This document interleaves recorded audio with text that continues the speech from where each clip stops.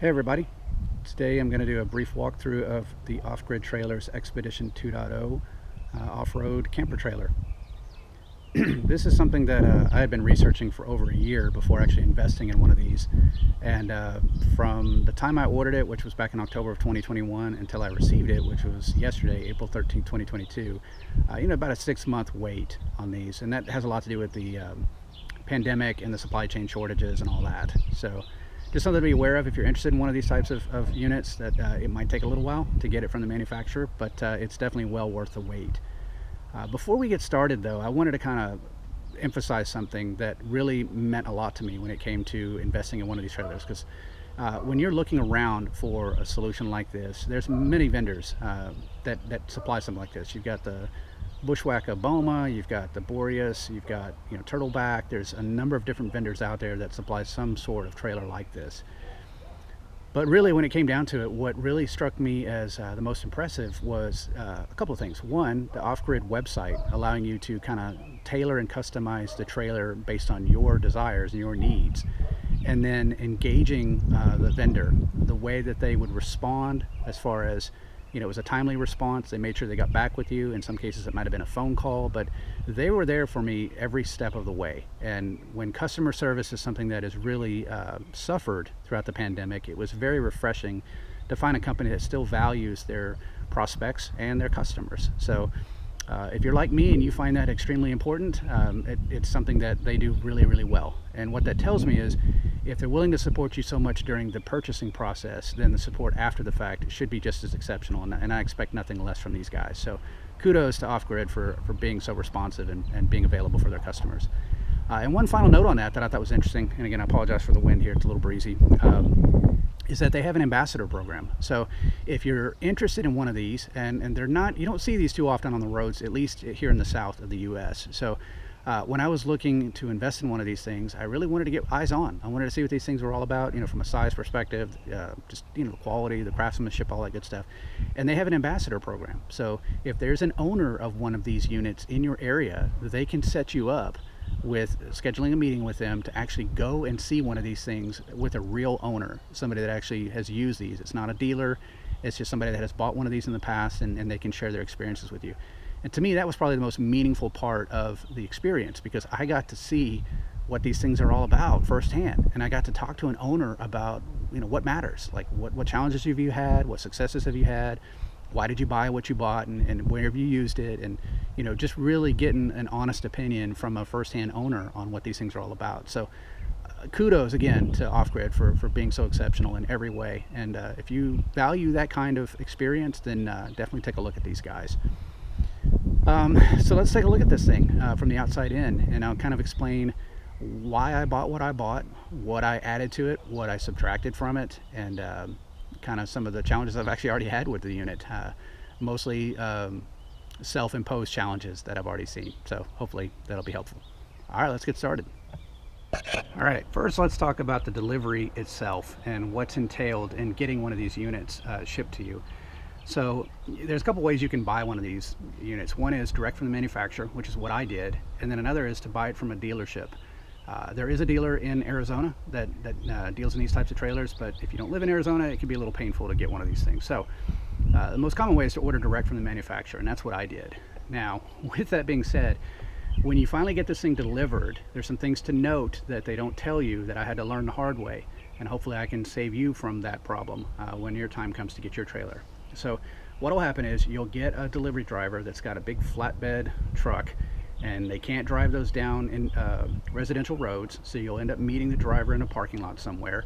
Your trailer will be fully wrapped in plastic so they'll bring it off of their trailer they'll unwrap it for you um, kind of make sure there's no damage to the trailer and all that good stuff and give you the paperwork. And depending on what you ordered in relation to the hitch this is where some of the complication can come in. So if you did this as standard two, uh, two inch ball hitch then there's no worries right? As long as you have a ball hitch um, that you can hook it up to you're good to go or if you're like me and you invest in the Max Coupler, which gives you that 360 degree articulation, uh, sounds great. Uh, there's some things you need to be aware of that you'll have to deal with when the driver shows up. And if you don't have either the tools or the, the understanding of where the thing is, you, you're going to be like me and you're going to be scrambling to figure out how you can hook this thing up to your vehicle. So the first thing that you'll notice, and I apologize if it gets shaky here, is um, this little bad boy. So this is my hitch that I bought from, I think it was Home Depot or something like that, and it doesn't have a ball on it, which is fine. Um, but you'll notice it's got this huge nut, and then it's got this what looks like an Allen wrench type deal. So I get a little closer to that. Uh, and if you don't have the tow hitch tool to be able to wrench this, uh, you're going to be in trouble. so what I recommend is uh, a couple of things. Either get the wrench tool that you need from something like an AutoZone or O'Reilly's or something like that so that you'll have that available. And then now the question is, what do I do about this end of it? Well, what they don't tell you in the uh, documentation or in the videos that you have on this is that there's actually a key that you get with your uh, user manuals and stuff that actually installs in this and you just need a crescent wrench. So you hold this in with a crescent wrench and then you screw this down. So if you have one of those moments where you start to freak out a little bit be aware this is what that looks like this is what's going to be in your user manual bag. So you're going to want to open up the trailer when you get it from the delivery guy find your little black and I'll show you what it looks like here in a minute and get this out because that's what you're going to need to be able to install that max coupler hitch onto your um, your your actual non-balled hitch okay? So just be aware of that. The second thing is notice how I have this thing installed? I've got it on the outward side that's important. If you install it the other way around, your vehicle's going to droop too low and your chains are going to drag. So make sure you don't uh, mess that up by installing it the wrong way around. You're going to want to install it this way. Um, so I, again, the way I did it now, again, if you don't have these tools or it's a one-time thing for you, you can go to AutoZone or you can go to O'Reilly's. They have the tools there and they will help you put this on. Just make sure you put it on the correct way. So you don't even have to buy the tools if you don't want to. You can go to a place like that and they'll, they'll easily help you out. So that, that's one thing to be aware of. Um, and it's just something that is important because obviously if you don't have the right tools, you can't hook this thing up to your vehicle. The second thing to be aware of is this seven pin hitch or a seven pin connector okay um, they do tell you this in the videos but it's really difficult to know if your vehicle is going to have a problem with this or not this thing is relatively small if your seven pin connector on your vehicle is right behind the tow hitch, that's fine. It'll plug in just fine. But if you're running a 4Runner, a Land Cruiser, something where you actually have um, these uh, those plugs either on the far right or the far left side of the vehicle, then that won't reach and you're going to need a little three foot extender. So that's something to be aware of that uh, I didn't have the extender because I didn't know if I needed it or not. And uh, I have a fifth gen 4Runner. So if you have a fifth gen or a sixth gen, which whenever they come out, you're gonna need an extension. And typically a three foot extension will be fine. Uh, also on the front, uh, I did opt for the spare tire. Uh, I did it for a couple of reasons. One, because obviously it kind of looks cool. You have an extra tire, uh, but also it kind of serves as a rock guard. Because that's the one thing, if you don't get the spare tire, this is exposed to all the junk that's going to be kicked back from your vehicle. So having that tire gives you a little sense of protection, um, but it's also worth it because now you have a spare tire, which is kind of neat. Um, the jack itself is uh, an add-on, so you get a standard jack. I highly recommend this. Uh, I was on the fence when I first saw it, but after talking to the owners of theirs, I realized it's pretty important to have something like that. So it's well worth the investment to go ahead and upgrade the jack. Makes it much easier to move it around, a lot more flexibility, and a, lot more robust. All right, so let's talk about um, some of the things that I invested in from the things that I subtracted when I did my order. Okay, so when it came to ordering my unit, one of the things that I made sure I did not include was a rooftop tent. Uh, and the reason for that is, is it adds additional weight, it adds additional height, and um, you know, I'm not really gonna sleep with two people on the roof. Um, for me, all the people I go camping with have their own gear, so they're gonna sleep in their own tents, and it just didn't feel like it was necessary for me to get a tent.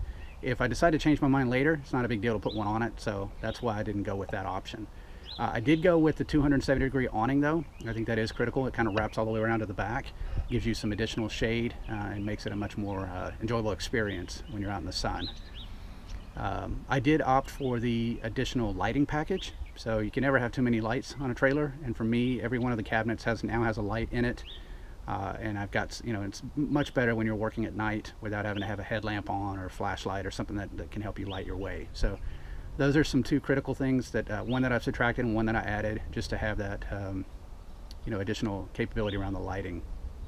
Uh, the other thing that I'll show you guys a little bit later is you can upgrade the MaxxFan on the inside with one that includes a remote. Um, you know, to me, the controls are right there. You can just twist a dial to move the, the, cover over and then just hit the buttons. It wasn't worth the additional investment to get the uh, upgraded MaxxFan that just has a remote. Same fan, just has the additional electronics.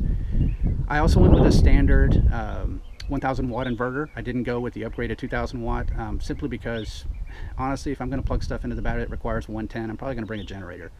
Um, and uh, if I need to run stuff off that inverter, it'll be very, very limited. So there wasn't really a reason for me to upgrade the inverter. I just didn't see me using it that often. Uh, and you may feel the same way. Now, obviously, with the inverter I have, I don't want to plug sensitive electronics into it. so I won't be plugging in a laptop or anything like that. But for what I plan to use it for, if any or ever, uh, it's fine.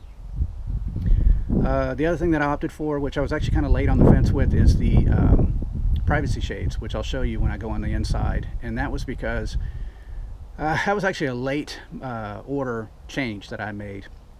Meaning that I originally ordered the trailer without it, and then when they gave me the final option to augment, I went ahead and got them. And I did that specifically because when I talk to some people about how they use their trailer, they sometimes will park uh, at a park and there are other people around. And at night, with the lights on, you can see directly in the cabin. So it made sense to go ahead and get the privacy shades just for that.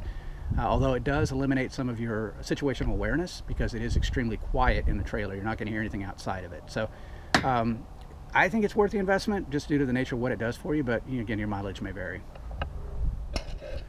Okay, now that we got everything opened up, let's talk about uh, what's inside the trailer as far as what features you get, starting with the electrical as I mentioned earlier, um, I, I, didn't opt for the upgraded inverter. I didn't feel like there was a need to plug anything in that was going to require that kind of wattage, so I just stuck with this, the standard 1000 watt inverter. Uh, you'll notice that this comes with some 12 volt AGM batteries, um, dual batteries, which is really nice. And the cool thing about this is that I asked about this before I purchased, is the controller that this comes with is actually lithium capable. So if you decide later on you want to replace the AGM batteries with something like a battery or a couple batteries, uh, you don't have to change out the controller You just swap out the batteries and you're good to go. So just something to consider from an upgrade perspective if that's something that you uh, are interested in that is easily done with this trailer, which is really nice. Got some additional storage above the batteries for other accessories that you want to put in, which is nice. Um, let's go ahead and move around to the side here and we'll talk a little bit more about everything else. So what we have here is the uh, on-demand hot water heater and the Propex furnace, uh, as well as my light switches for the lighting around the, tra the trailer itself. The Propex furnace is actually an option. It's not um, something that you get as standard. Um, but when I was looking at these trailers, I was kind of on the fence about getting a furnace because I do live in the South. We don't really get that much in the way of cold winters. And I was kind of on the fence. It's a pretty sizable investment. I think it's about 1500 bucks and uh, just wasn't sure if it was going to be worth it or not. But after talking to a couple of owners of these, even though they live here in the South, they say you're going to want that because it does help kind of keep things warm in the winter. Uh, and it's better to have it, not need it, than need it, and not have it, which is you know kind of the a strategy for uh, buying pretty much anything. So I went ahead and opted in for it just in case. Uh, it'll make a much more comfortable situation if I decide to leave the state and go up somewhere when it's really cold. Um, so that's pretty nice. Uh, when it comes to the propane, you it, it comes with an 11 uh, pound propane tank. Uh, this is empty, so you'll have to fill it up when you first get it. They do have a 20 pound propane tank add-on that you can put in um, to give you 20 pounds if you need it. But from the people I've spoken to, when all you're doing is uh, doing hot water uh, and maybe the furnace and maybe the stove, you don't really need much more than 11 pounds for most trips. And if you do, bring another can and just swap them out in the field. So that made a lot of sense, and that's why I went ahead and stuck with the 11 pound. It's also a little more streamlined. You're technically supposed to take this down when you transport it. Uh, some people do, some people don't. Depends on who you are. When it comes to the water fill point, something to note about this trailer, it does take 31 gallons of water, which is actually really, really nice. Uh, some of these trailers that you see out there from other manufacturers might have a 9 gallon tank, maybe a 14 gallon tank. Uh, in my opinion, you can never have too much water. It's it. If you've ever done any kind of RVing, you know how fast, especially if you're boondocking the RV, you'll know how fast you go through water from both showers and just cleaning up, you know, washing stuff off. You'll go through that 30 gallons in a hurry. Um, so the more water you can get, the better off you're going to be, the longer you'll be able to stay out, which is really nice.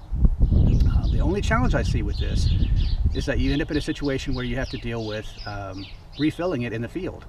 So this is, as you can tell, because it's a standard RV port, you typically will put it, you know, a hose to it or something like that to fill it up. If you have a five gallon water can, it makes it much more difficult to fill it up without a, you know, a funnel or some other mechanism to put it in there. So if you, you know, from a field perspective, if you've got a lot of people using your water, what I typically do is if people are going to go camping with me and they want to use the shower, bring five gallons of water. And that way you'll at least be able to replace what you use. Um, but unfortunately it makes it pretty difficult to refill as is. Some of the other trailer designers have put that uh, water port closer to the fender and they've made it a big mouth port so it's very easy to refill it with water cans but uh, this is something that OGT has not done yet. Uh, they do have the feedback. I provided this before I bought it and they said it's something that they might be looking into in the future. So let's take a look at the back and then uh, the kitchen area. Okay, so as we move around to the side and the back, just wanted to point out a couple of things. Uh, you'll notice that there's a bracket there that's hanging out. That's where the privacy shower goes, and unfortunately those are on back order at the moment. So once I get mine in, I'll be able to actually install that, and it just swings out and actually provides a shower type opportunity. So you, you have a place for, uh, you know, either the shower or maybe a porta potty or something like that, so that you got a little bit of privacy for, uh, you know, being outdoors and all that good stuff. Um, well, let's go ahead and move around to the back as well, so that way I can show you guys what the storage looks like.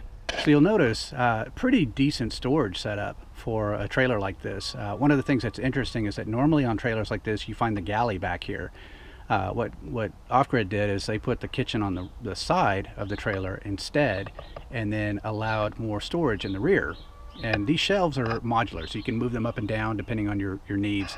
Um, I do see people using wolf packs um, to be able to, to kind of have things, you know, in a little bit of a uh, managed storage type deal. But if you're like me and you're familiar with tent camping and do that quite frequently, then you'll probably agree that the most annoying part is having to load up the vehicle with all your kitchen stuff, unloading it at the campsite, reloading it when you're done, and then re- unloading it when you get home. It's so much easier to have all of that stuff stored in a trailer so all you have to do is just get your food, your water, make sure your batteries are topped off, and you're on the road. Um, so you no longer have to spend hours prepping a vehicle to get out to the campsite. So having uh, onboard storage like this, uh, just like the water, you can never have enough storage. So uh, the more I looked into this, the more it grew on me as an option. Underneath here uh, is your water uh, your water pump, I do believe. So you can take that off if you need to service the water pump. Um, and that's where it's located on the trailer. Um, so let's go ahead and move around to the side and we'll talk about the kitchen next. So the kitchen itself slides down from the side. It just kind of folds down uh, in a side compartment. And with it, you get a double burner stove. That's a Dometic stove. And you get a hot and cold water faucet. Uh, there is no gray tank on this uh, trailer, which is actually okay. It's less crap you have to haul around. Um, so when you use the sink, all that water comes out of the bottom of it. What a lot of people do is they, there's a, a, pipe that they ship with the unit that you can screw onto the underside of it, and then you can dump that water into a bucket. Uh, or uh, I've seen other people put a hose on it and just snake the hose out away from the campsite. That way they're not having to deal with water um, muddying up their area. So a couple of different ways you can handle that, but um, this makes it very convenient um, to be able to cook without having to worry about you know, taking up a lot of unusable space. Uh, the only downside to this is, in my opinion, is that there's not a lot of preparation space. Uh, you can fold down the lid on the stove. You can even put this a cover over the sink and make that your prep area. But when you do that, you kind of eliminate being able to use either one of those. Uh, a lot of people will use the fenders as a preparation point and use those stairs uh, to get up on the roof as like a spice rack holder. So I guess that's from a field expediency perspective is, is okay. Um, but it's one area that a, simple change, in my opinion, is to take this stove and add an additional, um, you know, like a slide out that gives you some cooking space. And even if it has to have a leg to stabilize it, that's fine. Um, at least you'll have additional prep space. Again, that's feedback I have provided to the manufacturer, it's something that they might be looking into. You'll notice that the door for that actually latches onto the stove itself to kind of hold it up. I think that's a nice touch. That way you don't have additional legs hanging off of the thing. Um, so that's, uh, that's one way, a good use of the door. Um, let's talk about the fridge here. So standard, you'll get a Dometic fridge, which is, is pretty nice. Uh, I went ahead and, and, opted for the upgraded Truma fridge. And the very uh, specific reason why I did that is because I wanted the dual uh, zone fridge. So I do have a freezer and a fridge option with this. Uh, I found that, you know, hauling out ice is pretty painful if you're doing it in a cooler. You know, it only lasts a couple of days before it melts, especially in August in the south. So having a, a, freezer that can keep things cold makes things a lot more flexible. Uh, it is a deeper fridge, so it's a, lot, a little bit bigger capacity than the standard that you get. The top is removable. You can actually flip the, the lid around if you need to for flexibility, which is kind of neat. Uh, and I do believe this, this Truma is connected, so you can actually use um, an application to kind of control the temperatures without having to go and actually touch the, the unit, which is kind of nice.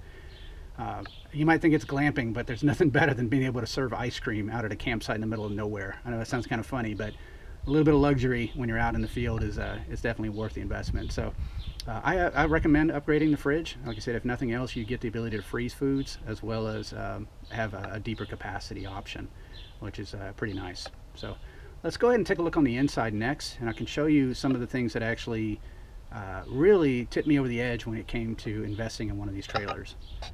Okay, before we go in, I wanted to point out um, one of the things about this trailer that you may or may not have noticed when I was showing the kitchen off, and it's those two little vent ports that you see up there on, at the top. Um, that is actually a uh, what they call an AC prep modification to the trailer, and it is an option. It's something that you can get, and if you have one of the AC units, I highly recommend you do it because it allows you to repurpose that. Um, so those are the ventilation port, ports for the AC unit. Now, that being said, uh, the type of AC unit that I think this is, again, one of the tipping points for why I invested in this trailer. When I was looking around, when it came to AC, there's a couple of different options that you'll typically see. You'll have one of the rooftop mounted AC units, which require shore power to run, or if you're lucky, you might have a, an outboard AC unit that's portable, like a Climate Right, you know, box type AC unit. But in either case, they're pretty cumbersome and it has specific power requirements. So what Off Grid did is they actually made it an option that if you own a Zero Breeze portable AC, if you don't know what that is, I highly encourage you to look that up. It's a lithium powered, lithium battery powered portable AC unit. It's designed really to kind of cool down tents in the summer, and that's why I bought it. it was because I was tired of sweating so much in August.